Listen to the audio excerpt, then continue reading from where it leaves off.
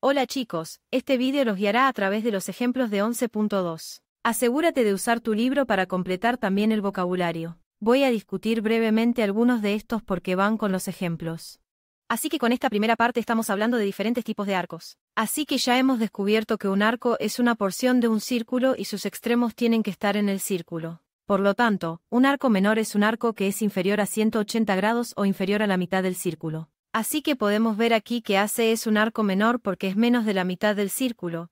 Así que si supiera lo que X es X tendría que ser menor que 180 grados, así que la notación aquí es que usamos los puntos finales A y C y luego usamos un símbolo de arco, una especie de círculo parcial que se superpone, por lo que es un arco menor porque es menos de la mitad del círculo.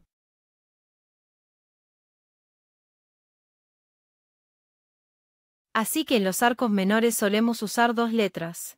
Sé que hay dos formas posibles de pensar en AC. Podría ser este gran arco o este pequeño arco. Por lo general, solo usamos dos letras si se trata de un arco menor. Para los arcos mayores, que es el siguiente, usamos tres letras para mostrar que está dando la vuelta larga. Entonces, un arco mayor, como probablemente puedas adivinar, es un arco que es más grande que la mitad del círculo, o el ángulo es mayor que 180 grados. Entonces, en este caso, la notación sería arco ADC, por lo que usamos tres letras para mostrar que va a ser de esta manera en lugar del arco corto de aquí. Así que arco ADC, tres letras con un símbolo de arco encima, y este es un arco mayor. Y luego, con suerte, esto no es un término nuevo, sino que semicírculo es un semicírculo. Así que tenemos a este tipo, podemos decir de nuevo, Normalmente usaremos tres letras, pero este también podríamos usar dos porque, por ejemplo, de esta manera y de esta manera, ambas me darían un semicírculo. Por lo tanto, son los extremos de un arco los que se encuentran en el diámetro del círculo. Así que este es un diámetro, el arco que va con el diámetro es el semicírculo. Así que, de nuevo, podríamos anotar esto de esta manera, o podríamos decir EFG, y ambos indicarían el arco del semicírculo. Bien, entonces 2 de febrero de 2011.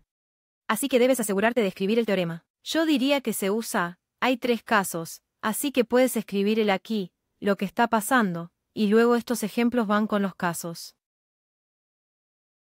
Básicamente, en un círculo, si tengo ángulos centrales congruentes, los ángulos centrales recuerdan los ángulos en los que se encuentra el vértice en el centro del círculo, así que si son congruentes, entonces las cuerdas que acompañan a esos ángulos son congruentes. Así que recuerda que un acorde es solo un segmento que tiene puntos finales en el círculo. Así que este es un acorde y este es un acorde. Entonces, en este caso, Ed sería congruente con CB. Y también funciona al revés. Bueno, supongo que empezaremos con eso primero. Entonces, si los acordes son congruentes, entonces los arcos también lo son. Entonces, cualquiera que sea este segmento, es congruente con este segmento. Si eso es cierto, las medidas del arco y las longitudes del arco también son congruentes, por lo que sus medidas de ángulo son las mismas, así como su longitud. Y luego, aquí es un poco el efecto contrario. Si conozco los arcos, las medidas de los arcos son iguales, entonces podemos asumir que los ángulos centrales también son congruentes, porque recuerden que la medida del arco está asociada con ese ángulo central de todos modos. Así que espero que esto sea algo intuitivo para ustedes, pero vamos a usar esta idea para ayudarnos. Bien, vamos a encontrar cada medida usando esta imagen. Así que el primero es J, K, L. Así que este va a ser un arco mayor porque están usando tres letras o también podría ser un semicírculo. Así que voy a ir de la J a la K a la L. Está bien, y probablemente también lo estén haciendo, solo para que sepa que no debo ir por este camino o detenerme en K, pero sé que voy de J a KL. Por lo tanto, tres letras pueden hacer que sea más claro cuando hay muchas letras en nuestra imagen. Así que mide JKL. Bueno, de JM, eso es un diámetro. Por lo tanto, de JM siguiendo esta ruta sería de 180 grados, porque un semicírculo es la mitad de 360. Así que la notación aquí, la medida JKM, así que voy de J a KM todo el camino, va a ser un semicírculo. Así que la medida de ese arco es de 180 grados. Recuerda, la medida de arco es un ángulo. Entonces, si eso es 180 grados y esta pieza de aquí es de 40, si quiero y puedo hacer 180 y restar esa pieza de 40 grados. Entonces, si hago 180 menos 40, obtengo 140, y esa sería la medida del arco y que y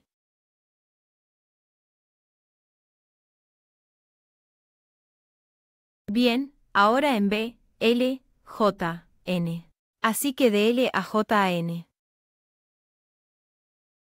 Así que, de nuevo, sabemos que no debemos ir por este camino debido a la orden que me está dando. L, luego J, luego N. Así que está diciendo acerca de este arco principal aquí mismo. Bien, con este sabemos que un círculo completo es 360. Eso es casi un círculo completo. Simplemente no incluye estas dos piezas. Entonces, si hago 360 y resto este ángulo de 40 y 25 grados, eso me daría lo que estoy buscando.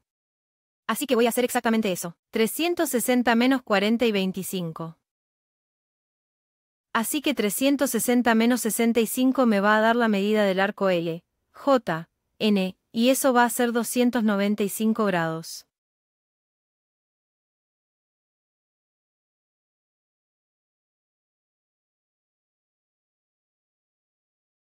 Bien, siguiente teorema, 3 de febrero de 2011. De nuevo, por favor, escriba el teorema formal en este cuadro, y esto va a ser una aplicación del mismo. Lo que este está diciendo es que si un radio es perpendicular a una cuerda, recuerde que una cuerda es solo un segmento en el que tengo dos puntos finales en un círculo. Si es perpendicular a una cuerda, recuerde que perpendicular significa que está formando un ángulo de 90 grados, entonces divide el acorde y es un arco interceptado. Así que recuerda, bisectar significa cortar en dos mitades iguales. Así que el cordón está siendo dividido en dos. Así que CD en esta imagen divide en dos el segmento, EF, y también el teorema dice que divide en dos el arco. Así que ese arco EF, y voy a decir EDF para aclarar que es este lado, y es un arco. Así que está dividiendo ambas cosas. Bien, supongo que no estamos haciendo un ejemplo aquí, solo sabiendo que son congruentes, y también las medidas de arco son congruentes. Bien, en este sí tenemos un ejemplo. Así que teorema 4 de febrero de 2011, por favor escriba de nuevo el teorema aquí. Entonces, si una bisectriz perpendicular de una cuerda es un radio. Discúlpeme, la bisectriz perpendicular de una cuerda siempre va a ser un radio o diámetro. Entonces, si vemos que se biseca y es perpendicular, esta línea tiene que tener un diámetro o radio si no pasa por completo. Así que es algo así como el reverso de este teorema que acabamos de ver. Así que vamos a usar eso para encontrar NP. Así que NP es este acorde de aquí, así que queremos encontrar toda la longitud. Lo sé, deberíamos decir en particular, que se trata de una bisectriz perpendicular. Así que este es un radio, y un radio divide en dos una cuerda si son perpendiculares.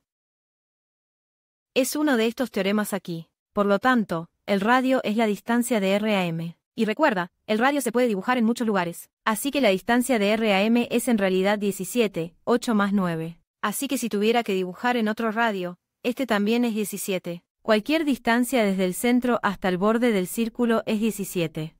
Así que si pudiera descifrar esta pieza, simplemente la duplicaría para obtener todo el acorde IP. Así que tengo un mini triángulo rectángulo aquí. Así que voy a sacar eso.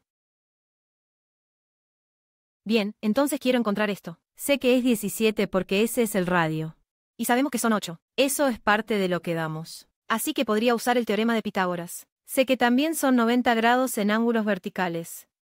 Teorema de Pitágoras para hallar este valor de x de modo que podamos hacer x al cuadrado más 8 al cuadrado igual a 17 al cuadrado. Así que tenemos x al cuadrado más 64 igual a 289, y luego podemos restar 64 de ambos lados y una vez que lo hago, obtenemos que x al cuadrado es igual a 225 y la raíz cuadrada de 225 es 15.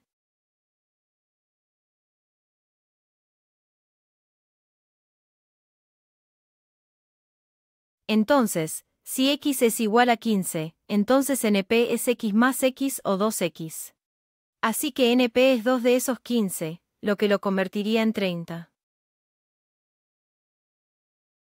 ¿Tienes uno o dos problemas como este en tu tarea? Así que lo más importante es recordar que puedes dibujar en un radio y que todos los radios son iguales dentro del mismo círculo. Así que fíjate en cuál es el ojo y luego, no importa dónde dibujes, los otros también tienen la misma longitud.